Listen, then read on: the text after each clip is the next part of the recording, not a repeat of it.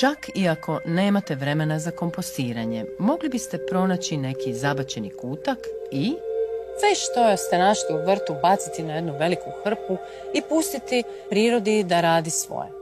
No ako se potrudimo malo više i redovno prozračujemo svoj kompost, tada ne moramo strahovati da bi se u njemu mogle možda nastaniti voluharice ili miševi ili štakori. A što je s ostacima hrane iz kuhinje? Može li se i ona pretvoriti u kompost? Može se kompostirati uz pomoć takozvane bokaši metode.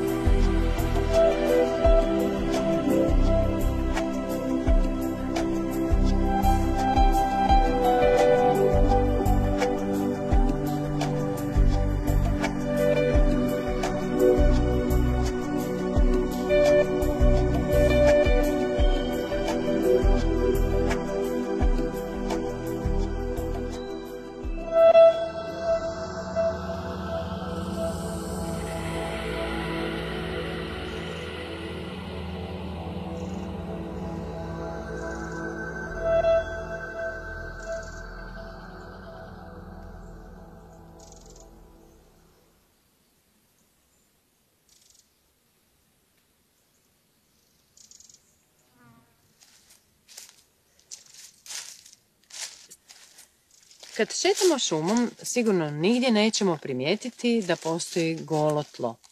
Ili negdje rastu zelene biljke, ili je tlo jednostavno prekriveno suhim šumskim lišćem. To je naravno prirodno u jesen kada suho lišće padne na tlo, taloži se na njemu sloj po sloj i tu se polako razgrađuje uz pomoć mikroorganizama i sitnih stanovnika tla taj prirodni proces razgradnje organske tvari preuzeli smo od prirode i mi vrtlari i nazivamo ga kompostiranje. Umjesto suhoga lišća, organski vrtlari pokrivaju tlo malčom od sjena ili slame, tako da na gredicama nepokrivenih dijelova tla nema. Kako sezona odmiče, taj se malč razgrađuje, odnosno kompostira i pretvara u biljnu hranu. U suštini kompostiranje je dio životnog ciklusa svake biljke, bez obzira je li ona kultivirana ili korov.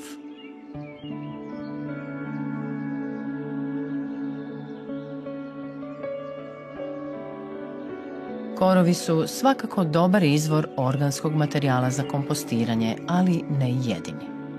U svakom vrtu na kraju sezone uvijek ima i mnogo grana, grančica ili pak nekih nepredviđenih materijala kao što je primjerice ova velika bala slame koja je tijekom cijele jedne sezone služila kao gredica za uzgoj povrća.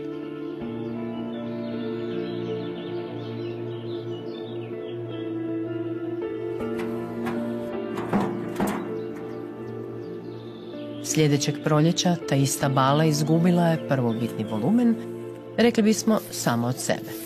I tek nas mrežica koja ju je učvršćivala podsjeća na njezinu prvobitnu veličinu.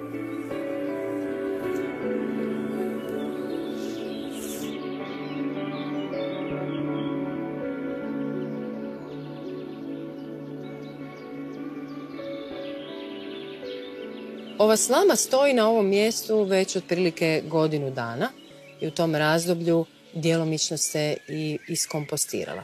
Tako da će biti odličan dodatak ostalim materijalima u mom novom kompostu.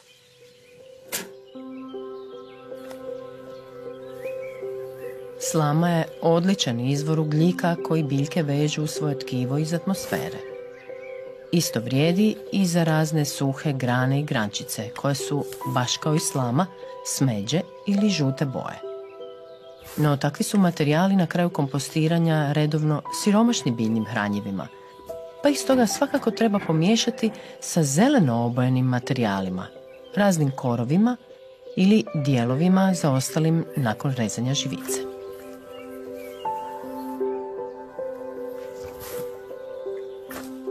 Zeleni materijali odličan su izvor dušika, elementa kojeg većina biljaka treba u najvećoj količini. Upravo zato najkvalitetniji kompost nastaje tek ako ravnomjerno pomiješamo zelene i smeđe dijelove.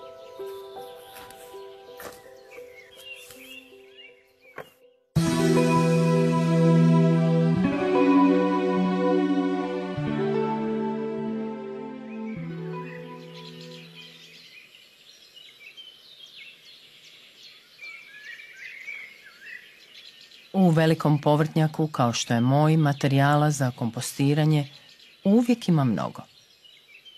Pa sam zato i pripremila ne jedno, već tri kompostišta.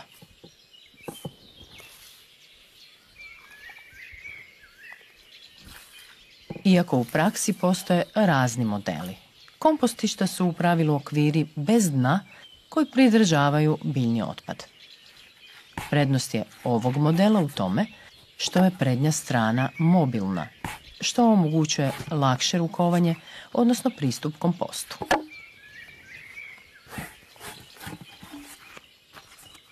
Zahvaljujući tome, mogu u svako doba provjeriti u kojoj se mjeri razgradio pojedini biljni materijal.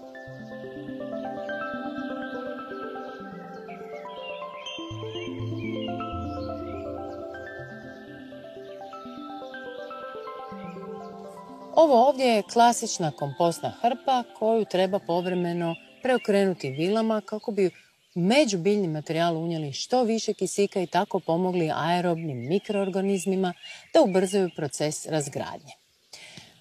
Ovu sljedeću kompostnu hrpu također sam nekoliko puta do sada preokrenula, međutim u različite slojeve dodala sam guano izmet šišmiša koji je poznati aktivator kompostiranja i već sada vidi se da je ovaj kompost za nijansu zreliji. Treću kompostnu hrpu nisam preokretala jer nije ni potrebno. Tu sam primijenila jednu sasvim novu tehnologiju, a to je tehnologija efektivnih mikroorganizama. Efektivni mikroorganizmi vrlo su učinkoviti u uvjetima bez kisika – kada je biljni materijal zbijen. Njihova je najveća prednost u tome što nakon razgradnje biljnih ostataka u atmosferu ne odlaze staklenički plinovi, već sve ostaje u kompostu i može se iskoristiti kao biljna hrana.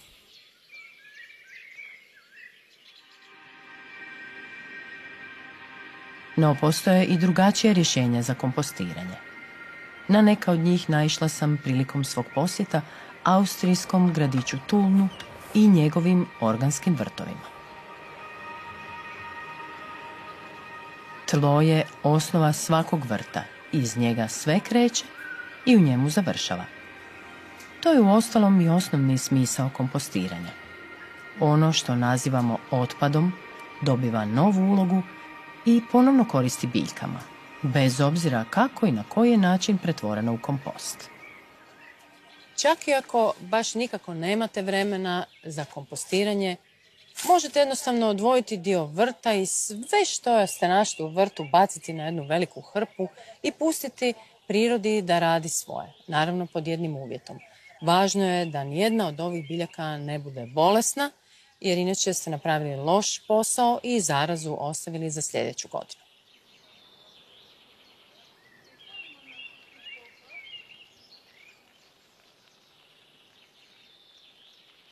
Kompostiranje naravno nije zaobišlo niti urbane vrtlare, odnosno one koji svoje povrće uzgajaju na balkonima ili terasama. Evo ovdje je jedan dobar primjer. Ja sada sjedim na jednoj dobroj klupi, ali to je istovremeno i kompostište. Evo ispod ovog poklopca nalaze se dvije pregrade. U ovoj manjoj, ispod ovog poklopca, žive kalifornijske gliste. Evo ih ovdje vide se kako marljivo rade svoj posao i pretvaraju kućni i vrtni otpad u glistinac. Kad oni obave svoj posao, taj glistinac možemo preseliti ovdje i u ovoj većoj hrpi zapravo nastaviti obično kompostiranje. Dakle, ovdje dolazi samo vrtni otpad, tu nećemo baciti otpadke iz kuhinje.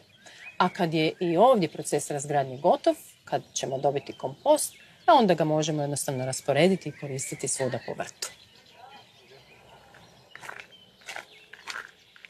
Evo još jednog zgodnog sistema, ali ovaj puta samo za povišene gredice, odnosno one koje nisu u izravnom kontaktu s tlom. Dakle, kad se gredica napuni zemljom, kad smo potpuno gotovi, donosimo sa sobom jednu ovakvu kutiju.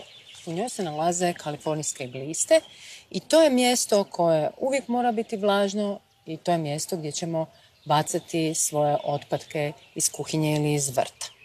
Budući da je kutija perforirana, gliste mogu bez problema proći i u okolno tlo i na taj način zapravo rahliti, bušeći tunele, rahliti tlo, poboljšavati njegovu strukturu i prozračnost, ali i obavljati neku vrstu mikrognojenja.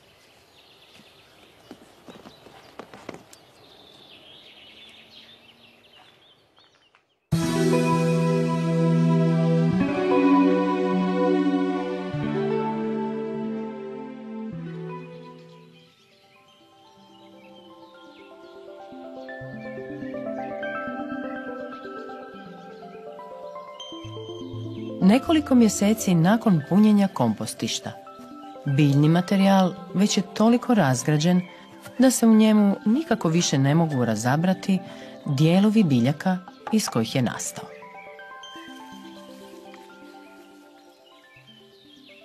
U ovoj fazi kompost još nije posve zreo, ali već bi se mogao koristiti u vrtlarstvu. U svakom slučaju, sada je ona ukupna količina komposta koju sam stavila u ova kompostišta bitno manja. Smanjila se čak za dvije petine, a smanjit će se još i više sve do kraja kompostiranja.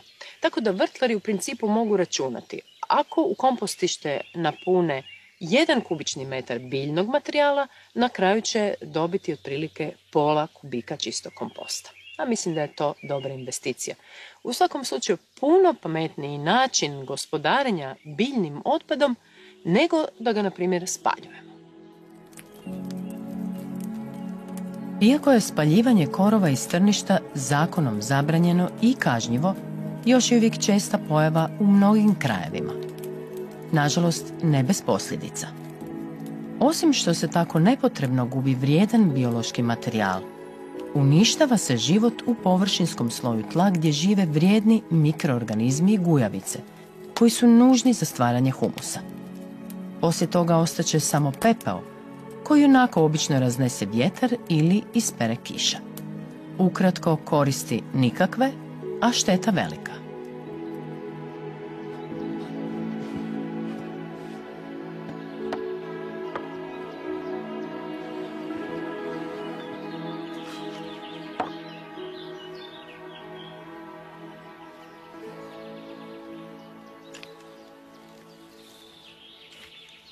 Zahvaljujući tome što se kompost redovito prozračuje, ne moramo strahovati da bi se u njemu mogle možda nastaniti voluharice ili miševi ili štakori. Jer te životinje jednostavno ne vole da im se preokreće nasnamba. Tako da možemo biti opušteni što se toga tiče, a osim toga na ovaj način sigurno ubrzavamo proces razgradnje, odnosno kompostiranja. Prozračivanje komposta trebalo bi u pravilu obaviti jednom tjedno. No to pravilo bolje je shvatiti kao preporuku, a ne kao obavezu, jer se ništa strašno neće dogoditi ako preskočimo jedan ili dva tjedna. Mnogo je važnije da ga tijekom ljetnih mjeseci tu i tamo zalijemo, kako bi nadoknadili vlagu i ubrzali razgradnju.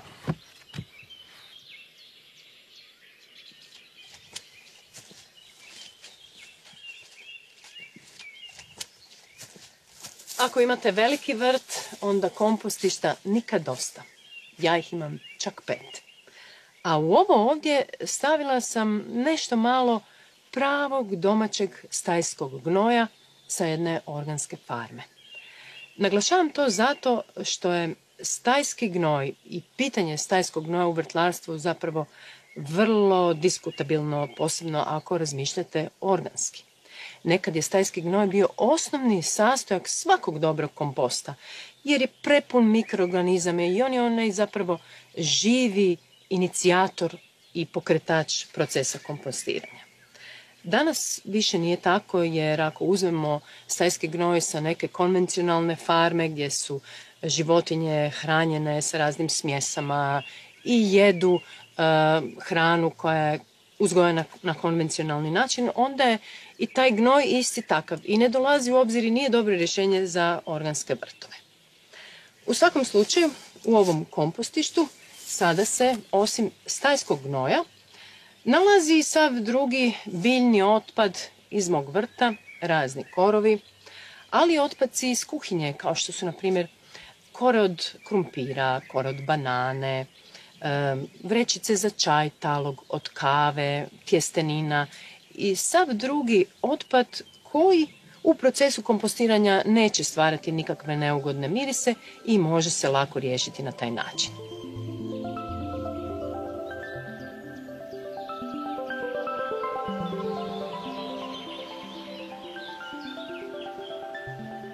Sav onaj otpad koji se inače ne može kompostirati na klasičan način, dakle u vrtnim kompostištima, može se kompostirati uz pomoć takozvane bokaši metode. Odnosno u ovakvim zatvorenim kantama, kao što je ova koja ima poklopac. Dakle, ovdje ne možemo osjetiti nikakav miris. Zato ovdje mogu baciti i ostatke kostiju, mesa, riblje kosti, tjestenine, riže, kruha, bilo kakvog zapravo kućnog otpada. Tajna je u ovom sredstvu koje se popularno naziva bokashi prema japanskoj riječi koja označava fermentaciju. A zapravo se ovo sredstvo sastoji od mekinja, od melase i od kombinacije efektivnih mikroorganizama. Uglavnom su to fotosintetske bakterije, bakterije mliječne kiseline, razni kvasci i svi ti, nazvat ćemo ih dobri mikroorganizmi, sudjeluju zapravo u procesu fermentacije koji omogućuje da se sav taj otpad razgradi uz pomoć fermentacije, dakle ovdje nema kisika, zato nema niti nekakvih specijalnih neugodnih mirisa. Koristi se tako da se slaže otpad sloj po sloj i svaki se sloj pokriva sa ovim sredstvom. To je proces koji traje otprilike dva ili tri tjedna. I u međuvremenu, ovdje na dnu, nastaje jedan e, nus produkt te fermentacije, a to je tekućina koja se može koristiti i kao gnoj.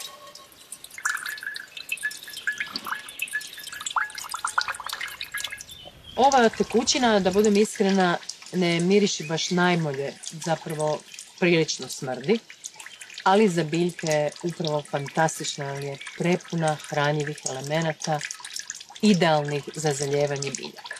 Naravno, ne smije se koristiti nerazrijeđena, već se mora razrijediti otprilike u omjeru 1 naprama 10 ili 1 naprama 20 za osjetljivije presadnice.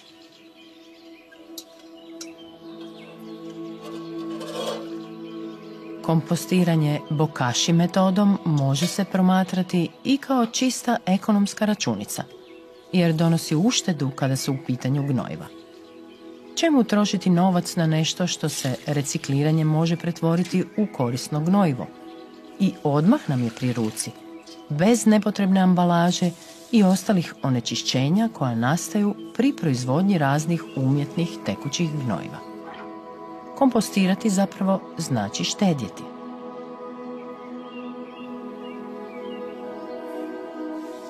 Ova metoda pogodna je jednako za vrtlare kao i za kućno kompostiranje, jer omogućuje rješavanje raznih vrsta kuhinskog otpada koji se na taj način pretvara u hranjivo tekuće gnojivo.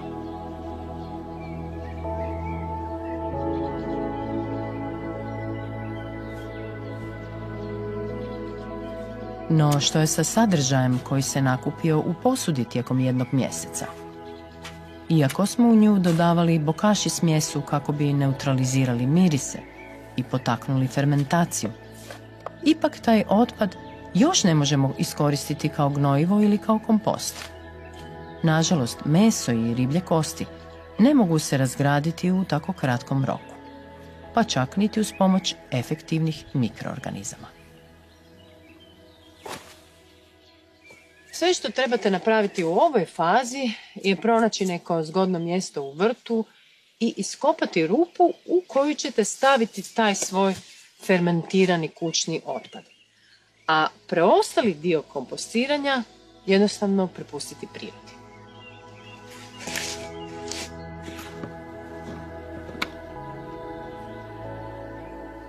Ovdje se zapravo ne događa ništa neprirodno, jer se svaka organska tvar prije ili poslije mora razgraditi. Ovaj je postupak samo nešto intenzivniji.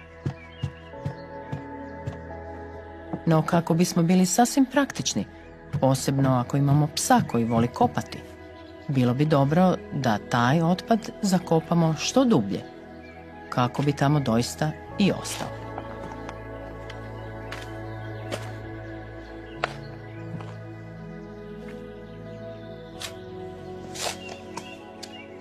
U sljedećih nekoliko tjedana sav ovaj otpad koji sam tu zatrpala postupno će se razgrađivati. Naravno u tom procesu sudjelovat će mikroorganizmi koji će zapravo svu tu organsku tvar razlagati na pojedine elemente, na pojedina biljna hranjiva. A to je upravo ono što biljkama najviše treba.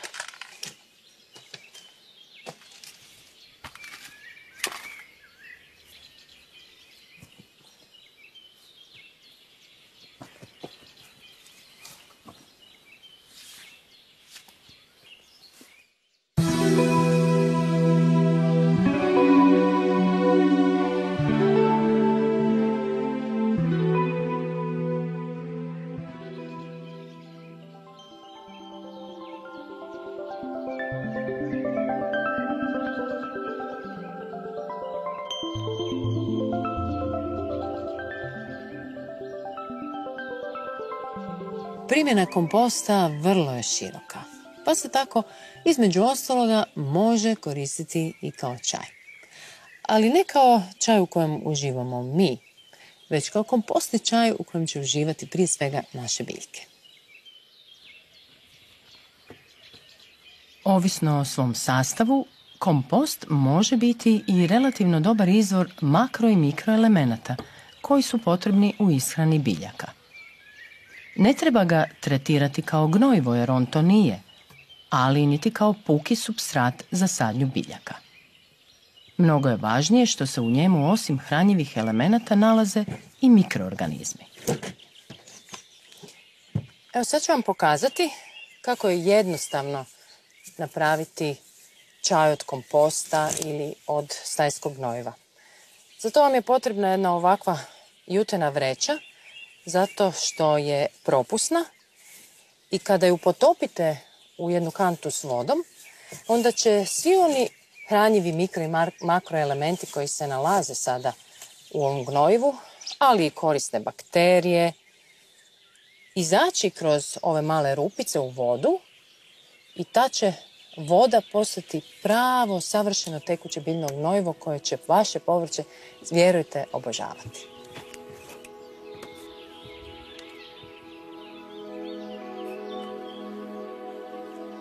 Čaj od komposta spreman je za upotrebu tek nakon 24 sata.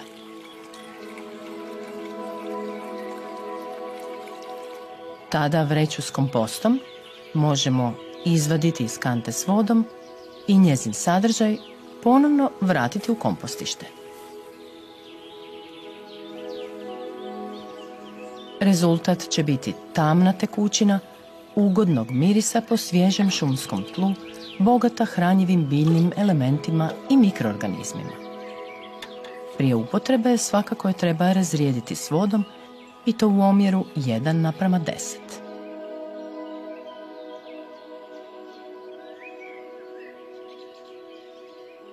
Ovaj način gnojenja neće možda biti dovoljan za povrtnice koje troše mnogo hranjiva, ali za začinske biljke bit će upravo savršen.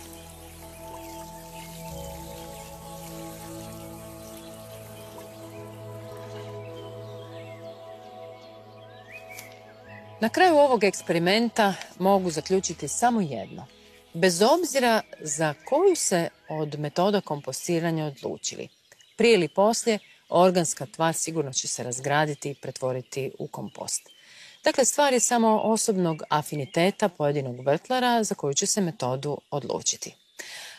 Ako koristimo efektivne mikroorganizme, onda kompostirati možemo čak i bez preokretanja i dobit ćemo u roku od 4 ili najviše 5 mjeseci odličan kvalitetan kompost.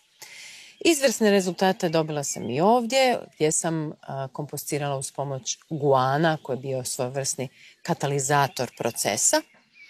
Ovdje su rezultati bili najbrži, što znači da sam uz redovno prozračivanje dobila kompost za otprilike tri mjeseca. No, jednako dobar rezultat dobila sam i u ovom prvom kompostištu gdje sam redovno preokretala, a nisam koristila ništa.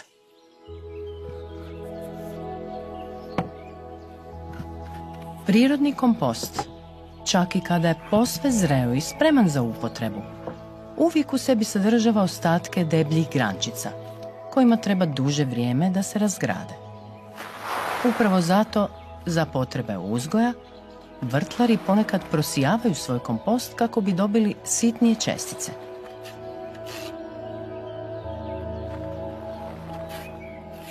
Možda ovaj cijeli posao nekome može izgledati pretežak, no u pravilu se uvijek isplati. Jer dobivamo vrhunski substrat koji bi inače negdje morali kupiti. A što je još i bolje, točno znamo kako je nastao i što se u njemu nalazi.